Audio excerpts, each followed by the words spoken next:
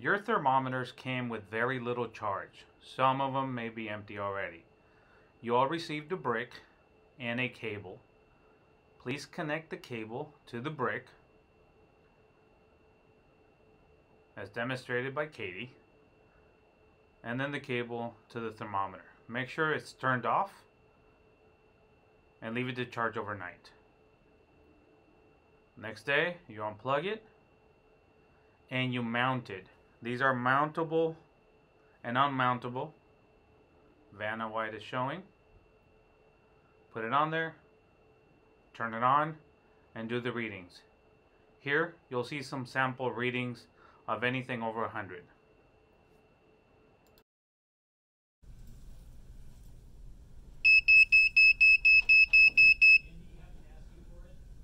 No.